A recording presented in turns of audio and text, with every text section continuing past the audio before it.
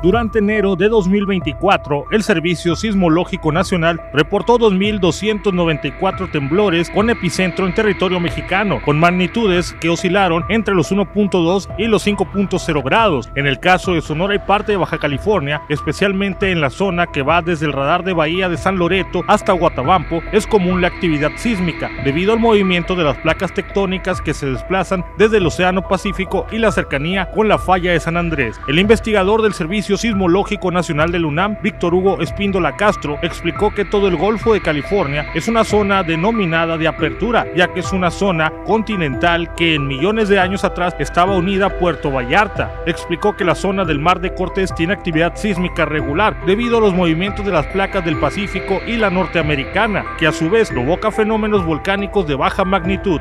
Ahí sí hay una secuencia sísmica y sí ha habido sismos de, de, pues de magnitudes un poco más, digamos que alrededor de 5, 5, 5 y un poquito más, este, de 5 hacia abajo, ¿verdad? Hasta magnitudes que van hasta 3, aunque es un poco localizarlos ahí, pero sí, sí hay una secuencia sísmica en lo que va de este año alta. En Sonora, durante los 21 días del mes de febrero se registraron 66 actividades sísmicas en lugares como Guaymas, Guatabampo, Villa Juárez, Pueblo Yaqui y Puerto Peñasco, con magnitudes que oscilaron entre 3 y los 4.3 grados según el informe del Servicio Sismológico Nacional. Hasta el momento, el movimiento sísmico de mayor magnitud registrado en Sonora durante febrero ocurrió el 21 de febrero aproximadamente a las 5 de la mañana con una magnitud de 4.3 a 95 kilómetros del sureste de Guatabampo. El jefe del Departamento de Bomberos en Hermosillo, Juan Francisco Mati Ortega, mencionó que en la ciudad han ocurrido sismos de muy baja magnitud que no han causado daños significativos. En caso de uno, recomendó mantener la calma y evacuar el lugar hacia la zona de punto de reunión en dado caso que se requiera apagar todo tipo de fuentes de energía según la gravedad del sismo.